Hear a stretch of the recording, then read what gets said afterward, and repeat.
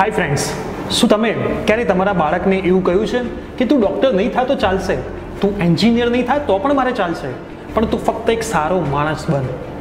જે પેરેન્ટ્સ મારી વાત સાંભળી રહ્યા છે, એમના મગજમાં ક્યારેક વિચાર આવશે કે ખાલી સારો માણસ બનવાથી શું જિંદગી પૂરી જીવી શકાય છે? હાય ફ્રેન્ડ્સ આઈ એમ પ્રિયેશ પટેલ આ વસ્તુ સમજાવવા માટે હું તમારી સાથે એક સ્ટોરી શેર કરવા માગું છું.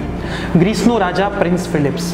જ્યારે સમગ્ર દુનિયા જીતીને આવે છે ત્યારે ગ્રીસમાં ઢોલ નગારા વાગી રહ્યા છે. લોકો જશ્નનો માહોલ મનાવી રહ્યા છે. ત્યારે રાજા પ્રિન્સ ફિલિપ્સ એના બાળકને શોધે છે કે ભાઈ, મારું બાળક આ જશ્નમાં સામેલ કેમ નથી?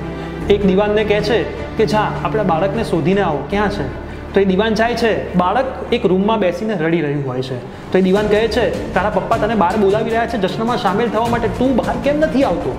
ત્યારે એ બાળક બહાર નથી આવતું. તો એ ગ્રીસનો રાજા પ્રિન્સ ફિલિપ્સ એ જશ્નને છોડીને એના બાળક પાસે રૂમમાં જાય છે. એ રૂમમાં જઈને એના માથા ઉપર હાથ મૂકીને એને કહે છે કે, બેટા, હું તો આખો દુનિયા જીતીને આવ્યો છું. આખું ગ્રીસ એનું જશ્ન મનાવી રહ્યું છે. તો તું શું કરવા રડી રહ્યો છે? ત્યારે બાળક રડતા રડતા એના પપ્પાને જવાબ આપે છે કે, પપ્પા, તમે તો આખી દુનિયા જીતી લીધી. હવે જ્યારે તમારી જગ્યાએ હું ભવિષ્યમાં રાજા બનીશ, તો હું શું જીતીશ? ત્યારે એના પપ્પા એને જે જવાબ આપે છે, એ જવાબમાં જ મારો પ્રશ્ન મેં જે તમને કર્યો, એ જ એનો પણ જવાબ છુપાયેલો છે. એના પપ્પા એના બાળકને કહે છે કે, તું બેટા જિંદગીમાં એક સારો માણસ બનીશ, તો પણ એમાં બધું જ આવી ગયું. અને દોસ્તો, એ વ્યક્તિ મોટો થઈને એલેક્ઝાન્ડર ધ ગ્રેટ બને છે.